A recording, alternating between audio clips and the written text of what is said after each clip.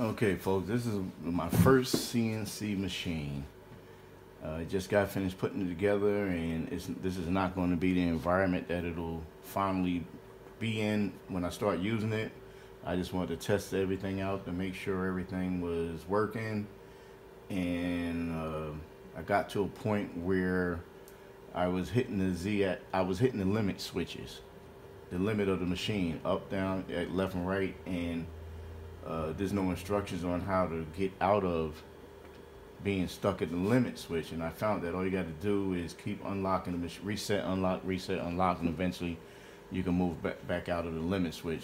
Uh, at first, I was mechanically adjusting it up and down, left and right to get it out of the, you know, limit uh, cutoff. And I'll show you what I mean. So, so, so say I move back.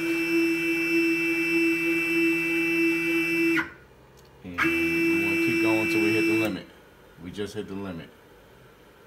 And if you notice when I click, it doesn't do anything else.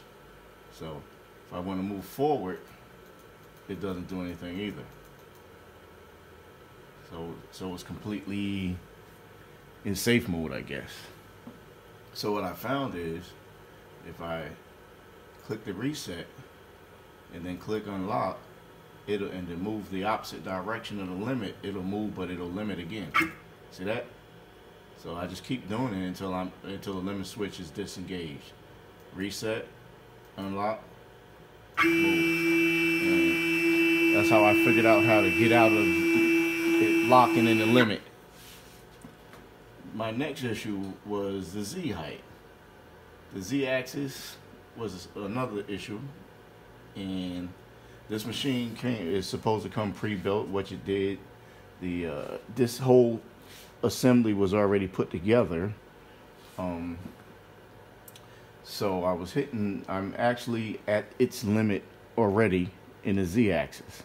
And what I found is as while I'm following along to do the test, I, you know, I mounted this board so we can test, you know, the uh, cutting action. And if you notice right there, I'm, I've already limited out on the z-axis. So how am I supposed to test and cut something if it doesn't even touch the surface? So again, there's no instructions on, you know, what to do, how to do it. So what I did was I adjusted the tip of this so I can let it hang out as far as possible and it still doesn't touch the board. So I'm thinking, well, maybe we have to adjust this bend this metal here to make it not hit as, as you know so soon and and stop the Z movement. Uh, and I got to looking at this thing and I realized, again, I'm a newbie, that all I would have to do is adjust the height of the, mo the, the spindle motor. And it looks like I could just lower it down and I'll be able to touch that. Took me a while to think about that uh, you know, assuming that if this thing is pre-built, that all of this would be set up properly already. But no, you have to make that adjustment yourself. So I'm gonna try to move out of that Z limit. Once again, I'll click reset and unlock, and then I'll move up. And see it's in the limit. So I gotta click reset, unlock, move up. And now, now I'm out of the Z limit.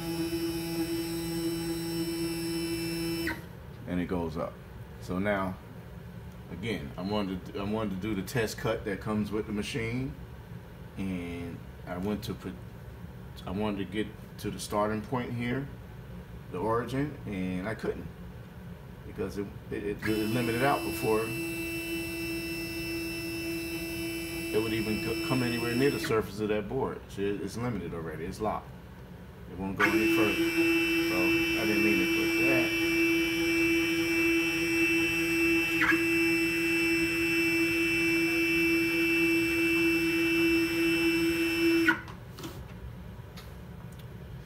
Okay. So let's click and see if we can get any lower. That is it. See that? So let's reset, unlock, up one, reset, unlock, up again. Again, you can change these increments if you want to want to get out of the, the reset safety, you know, faster. Uh, well, not this one. We'll leave that like that. This is the one I change.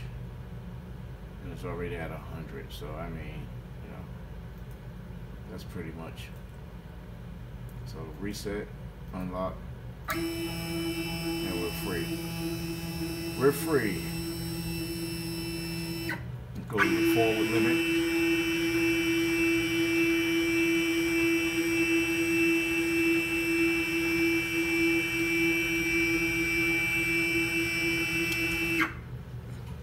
We hit the limit. Now I want to say, hey, I made a mistake. I want to back out of it. Actually, we weren't actually at the limit yet.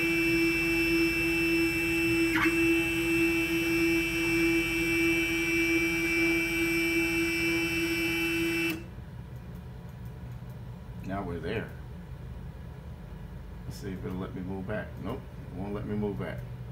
So reset, unlock, move back, reset, unlock, move back,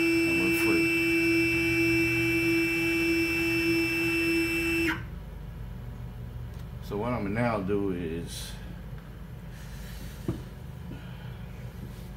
put this rubber protector back on to keep from getting cut. And I am going to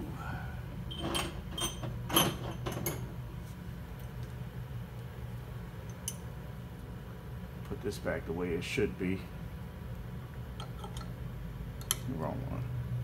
That was the right one. Loosen that up. See if I can push that in further. According to the instruction manual, it says push it all the way in and then back off some.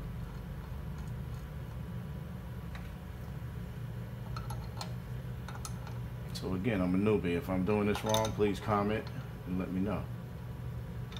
Okay.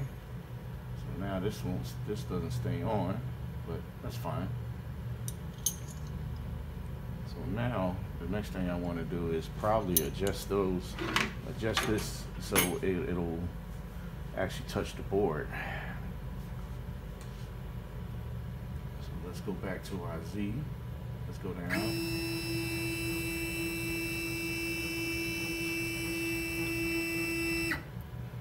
Okay.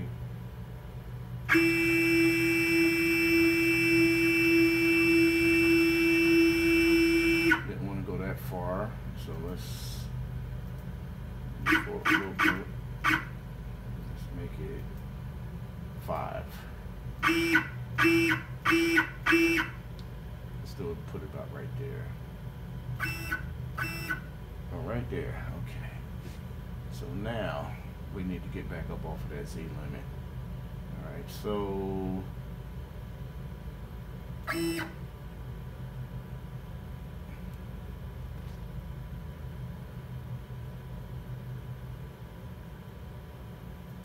change this to one. I think I want to put it just before it actually makes contact.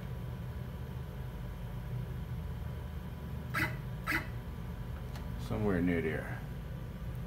I'm assuming. And then I'm gonna adjust this down till it actually touches the spoil board because we don't want to cut into the spoil board. Well, not the spoil board, but the surface board. I don't know what you call it, this board.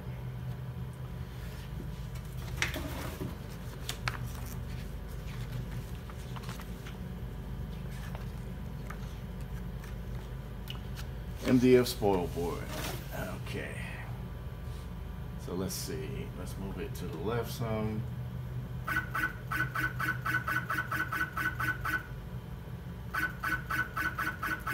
So say I wanted to cut all the way through that wood there, I'm gonna have to lower it so that it touches the table, just so it touches. So that screw is already loose. And I didn't mess with these, it came like that. Wow. They must have Loctite or something on these things. Ooh, see it came down? Came down some. So let me loosen this cable here. Just hold off before I lock that in. Let's see, let's move it down some more.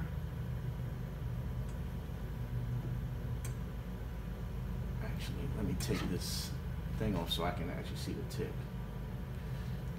All right. It's kind of kind of weird that I have to do this. So I just am touching.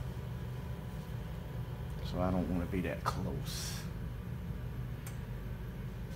I don't think. I want the limit before it actually touches.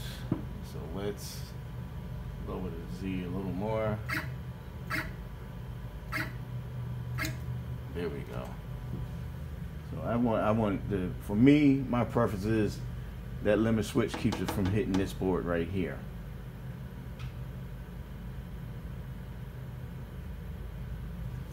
So I'm adjust the motor down just till it almost touches the board, but don't quite make it. I think that's close enough for me.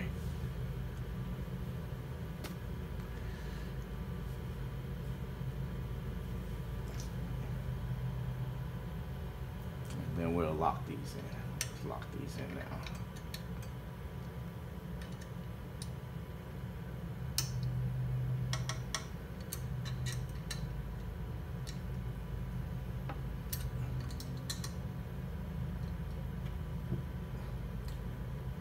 Now again, the manual doesn't say, hey, you have to adjust the spindle motor. I mean, I guess it's obvious for those that's, that's been doing the CNC for a long time, but my thought is if, it, if it's pre-assembled, I shouldn't, why, why should I have to adjust this, the height of this motor? I don't mind doing it. I mean, eventually I'm gonna change this motor to a DeWalt motor. That'll be another video. Okay, here we go. Reset, unlock. Reset, unlock.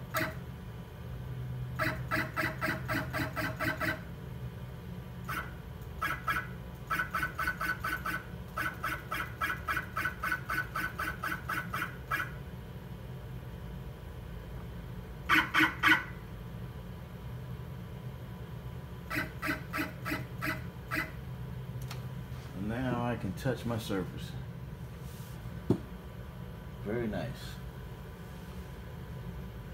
Well, folks, that's it for those of you that are new like me and get the machine put together and just can't quite make it to the board that you want to cut because the Z-axis limit is kicking in before you can cut into your board.